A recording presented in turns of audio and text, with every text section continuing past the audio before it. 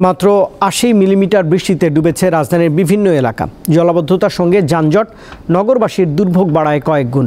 ভোগান্তি এড়াতে নতুন সরকারকে শিগগিরই দীর্ঘমেয়াদী পদক্ষেপ নেয়ার দাবি নগরবাসীর।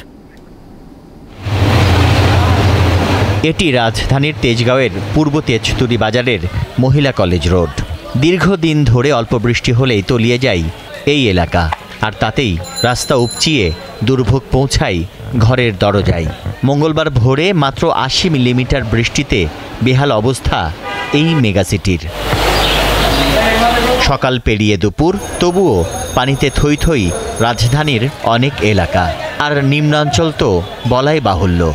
পানি জমে থাকে, ড্রেনের সমস্যা, পানি যাচ্ছে না ময়লার কারণে। হ্যাঁ বাড়ির ভিতরে নিচতলা বাসা রুমের ভিতরে পানি ঢুকছে। সারাদিনও দেবো এটা আমরা রাইতে বৃষ্টি হয়েছে অন্য সারাদিন মানে আজ সারাদিন থাকব। আজকে ড্রেন পরিষ্কার থাকতো বা সিটি কর্পোরেশন লোক যদি ঠিকমতো কাজ করতো তাহলে আজকে এই পরিস্থিতিতে হতো না। ময়লা পানিতে বেহাল গলি থেকে রাজপথ। রাজধানীর মিরপুর দশ নম্বর থেকে শেওড়াপাড়া পর্যন্ত প্রধান সড়ক সহ তুলিয়ে যায় অনেক এলাকার সড়ক।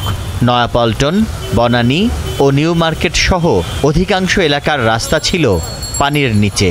ভোগান্তি এই যে দেখেন নিষ্কাশনের ভালো ব্যবস্থা নাই এই জন্য পানি উঠে যাচ্ছে। পানি উঠলে সমস্যা হয় গাড়িগুলি তলায় যায় গাড়িগুলি চালাইতে পারি না। যাত্রীদের বিড়ম্বনার পাশাপাশি ছিল যানবাহনের ধীরগতি। যত্রতত্র পানি ঢুকে বন্ধ হয়ে যায় অনেক যানবাহন।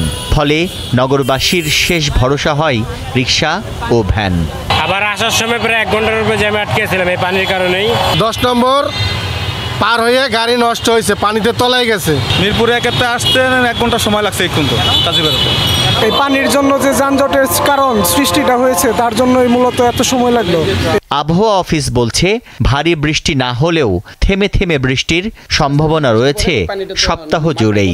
সকাল ছয়টা থেকে নয়টা পর্যন্ত আমরা যে বৃষ্টিপাত রেকর্ড করেছি ওখানে আশি মিলিমিটার বৃষ্টিপাত রেকর্ড করেছি। অল্প সময়ের ভিতরে ভারী বৃষ্টিপাত হয়েছিল। প্রতিদিনই আমরা এখন আশঙ্কা করছি হয়তো বৃষ্টিপাত হবে তবে অবিরাম পাবে না দিন যায়, সরকার বদলায়, সাথে কর্তৃপক্ষও। তবে রাজধানীর জলবদ্ধতার রূপ সেই একই। নগরবাসীর অভিযোগ, অপরিকল্পিত ড্রেনেজ ব্যবস্থা আর কর্তৃপক্ষের অবহেলার মাসুল গুনছেন তারা। তানভীর খন্দকার, দীপ্ত সংবাদ, ঢাকা।